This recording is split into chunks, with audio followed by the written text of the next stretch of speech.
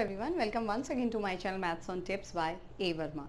Exercise miscellaneous जो है टिक्नोमेट्री में उसके क्वेश्चंस आज हम डिस्कस करने वाले हैं.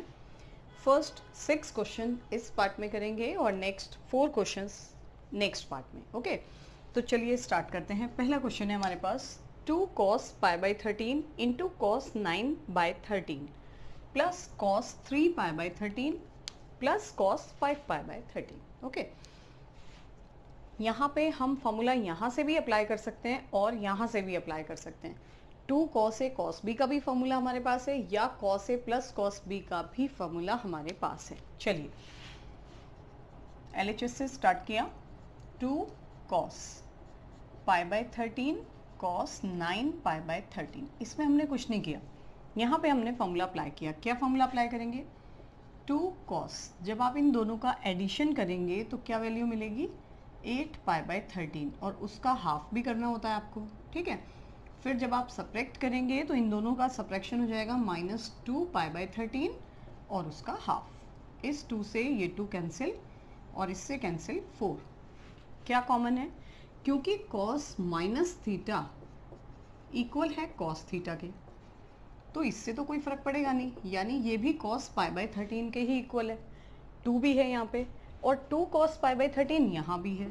तो हमने two cos pi by thirteen को कर दिया कॉमन राइट यहाँ से मुझे रिमेनिंग टर्म मिल गई cos nine pi by thirteen और यहाँ से क्या रिमेनिंग है? Cos four pi by thirteen एक बार फिर से हम यहीं पे सेम फॉर्मूला अप्लाई कर दें। Two cos pi by thirteen again by cos A plus cos B two cos addition यानी 13 pi by 13 upon two then subtraction 5 pi by 13 और अपॉन टू राइट कोई प्रॉब्लम यस चलिए इस 13 से ये 13 मैंने कैंसिल कर दिया।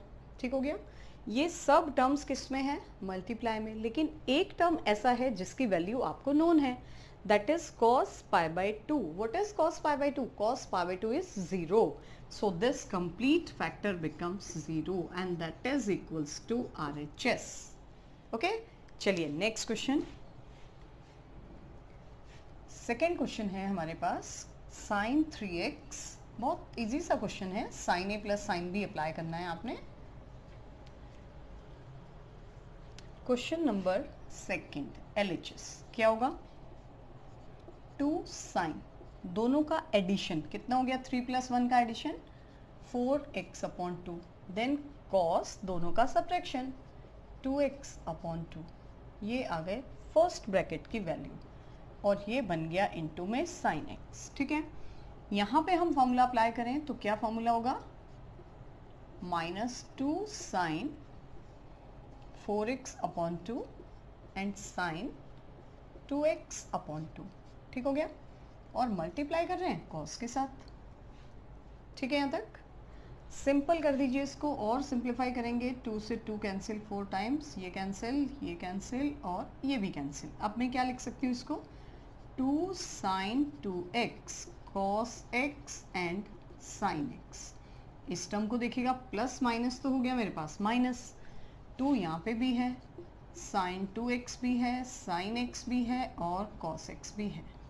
अगर आप ध्यान दें, cos x into sine x is same as sine x into cos x उससे कोई फ़र्क नहीं पड़ता है क्योंकि कॉम्पिटेटिव होता है मल्टीप्लीकेशन ये पूरा फैक्टर हो गया आपका कैंसिल और आंसर आ गया आपका zero that is equals to R H S है ना इजी चलिए नेक्स्ट क्वेश्चन थर्ड और फोर्थ दोनों एक जैसे हैं. क्वेश्चन थर्ड मैं बता रही हूँ फोर्थ आप ट्राई करेंगे. ठीक है? चलिए थर्ड क्वेश्चन में sine x cos x plus cos y whole square third one is cos x plus cos y whole square.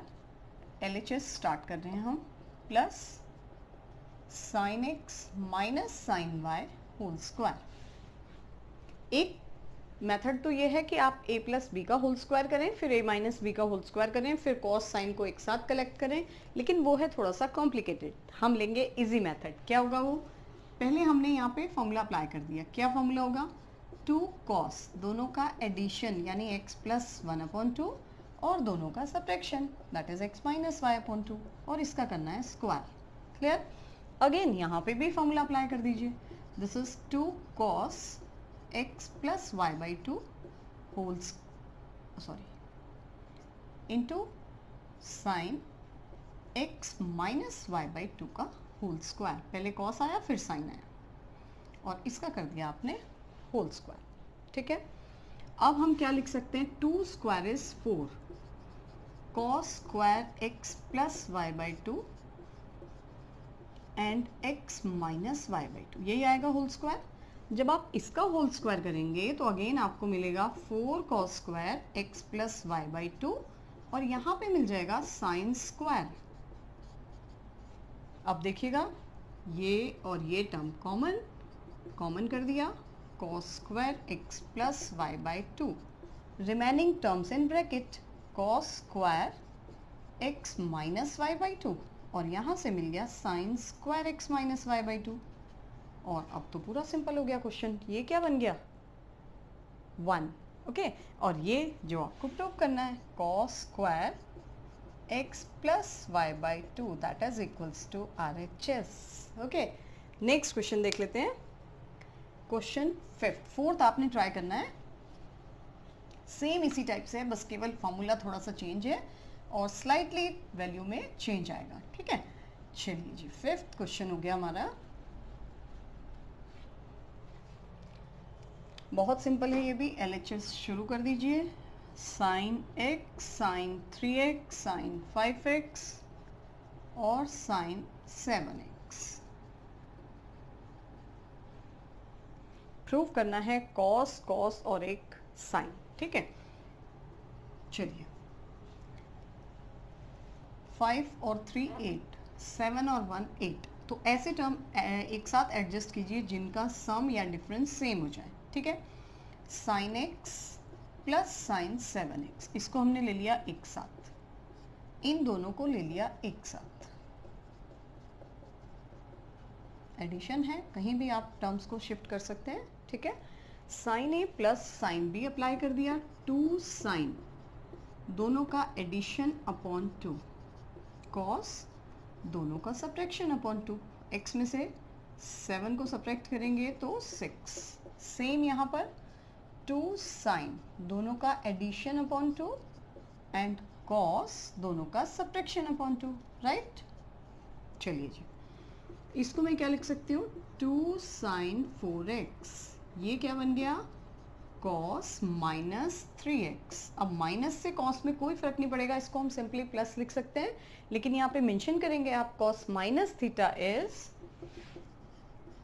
simply cos theta. लेकिन अगर ये साइन या टेन होता तो यहाँ पे आपको माइनस ऐड करना पड़ता, ठीक है? ये वैल्यू क्या आ गई मेरे पास? Two sine four x and cos x क्योंकि यहाँ से भी माइनस हमने रिमूव कर दिया।